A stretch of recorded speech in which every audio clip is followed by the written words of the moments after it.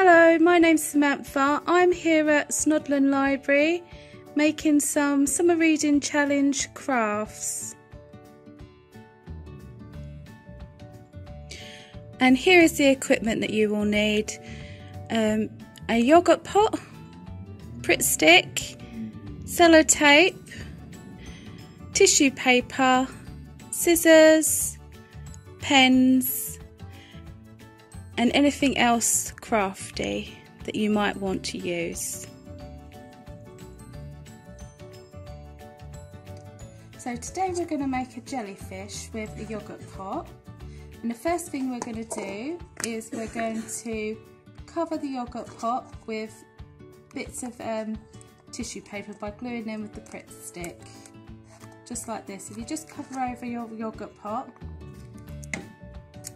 and then pop on little bits of tissue paper, different sizes, different colours, and maybe any other sorts of papers that you've got, like so, and you just cover the whole thing until you're completely covered.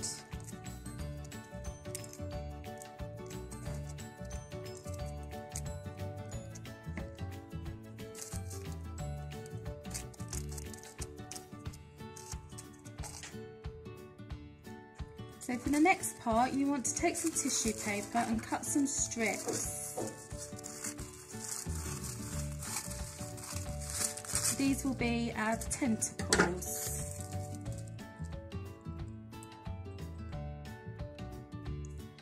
Next, we're going to get our tentacles and we're going to stick them onto our yogurt pot using some sellotape.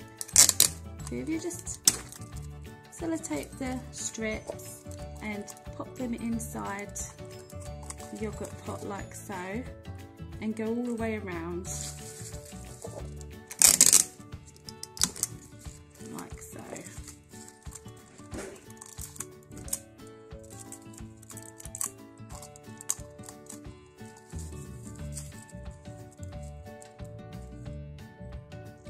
So next we're going to add some sparkly curly strips in the same way with the sellotape.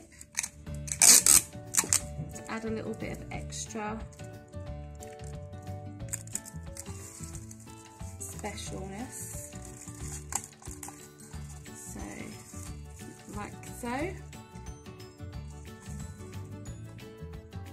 Okay, so next I'm going to put some sticky eyes on and if you haven't got any you can always draw it on with a marker pen, make your own eyes. There we go.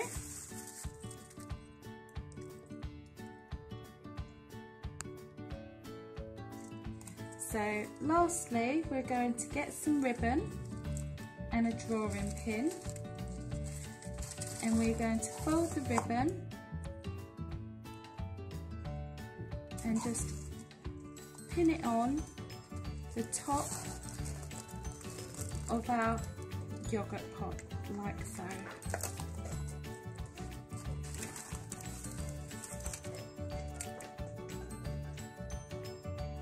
And there are your finished hanging jellyfish.